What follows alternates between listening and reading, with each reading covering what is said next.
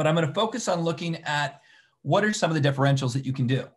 So if you take a look at a particular, you know, say I had a, a 4084 that I was working for a SAN, I may divide that into five RAID, RAID 6 groups with 16 drives per group. And in this case, I may have four spares that I've associated with a total used capacity of 700 terabytes. And then you can take a look at what the rebuild time is for that. The rebuild time for that particular set is in excess of 3,333 minutes in the event that a drive fails. And its write performance is capped at 3,200 megabits per second max.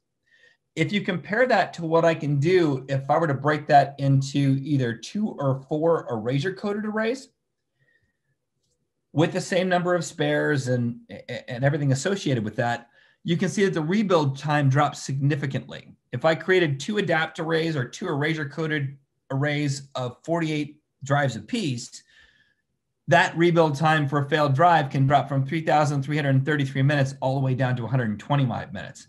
Subsequently, the write performance now jumps up to 9,600 megabits per second capacitance and what it can handle.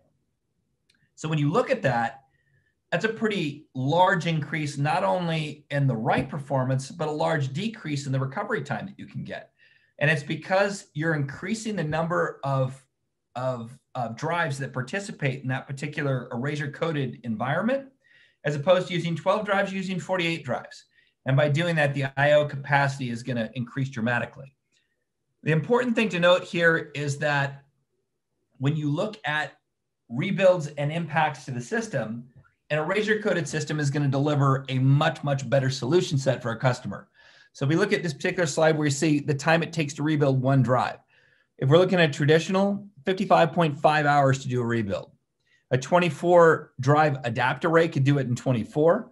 A 48 drive adapt array could do it in 11 hours.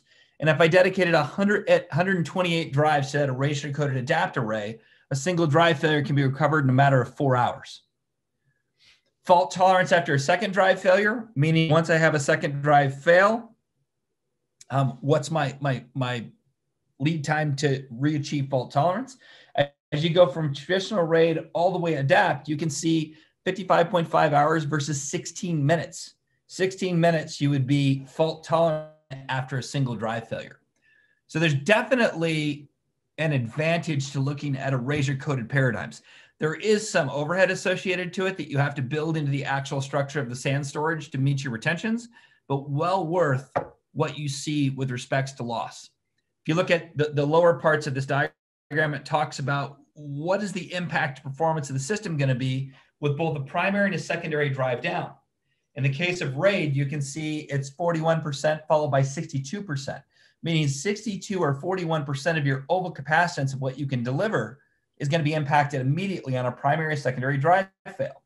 If you compare that across the board to 128 drive adapt array, that would be 6% for the first and 49% for a second. If you have hot spares, you could actually get to a point where you could build this out and really target yourself into that 6 to 10% performance impact loss.